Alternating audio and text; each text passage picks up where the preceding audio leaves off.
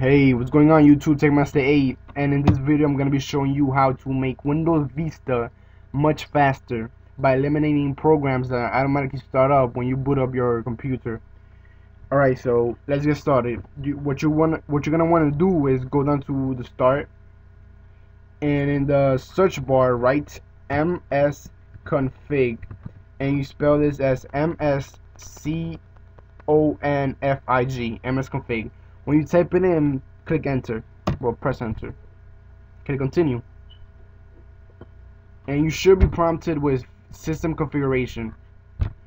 So under the system configuration window, click on startup.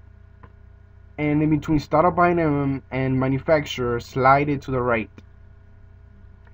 And so now what you're looking at right now is programs that automatically start up when you boot up your computer. Now what you're gonna want to do is uncheck every single program that's unnecessary to the startup.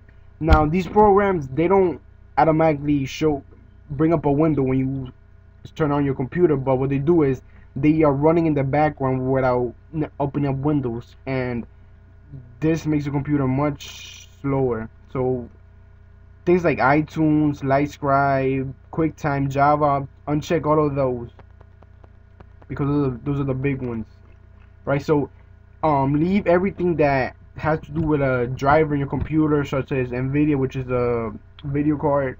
Leave Windows Defender on. Leave everything that says your computer that's from your computer manufacturer.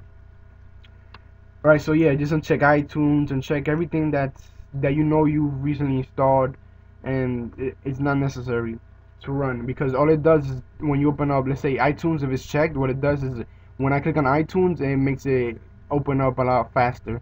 But it's not necessary, so just uncheck everything that you don't need and click apply and then OK. Now you're gonna be prompted with restart or exit without restart. Now it's your decision whether you want to restart your computer or exit without restart. If you wanna see the difference, I would suggest I would suggest you click on restart. But if you just wanna keep on using the computer, click exit without restart.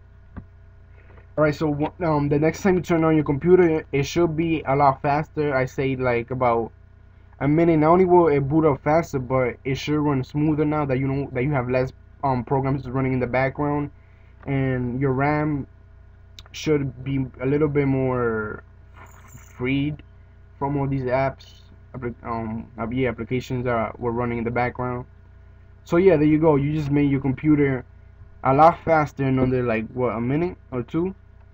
Alright, so thank you YouTube. Subscribe, comment, but most important subscribe because I have a tons of video coming up and I you guys might want to check out check out my other videos.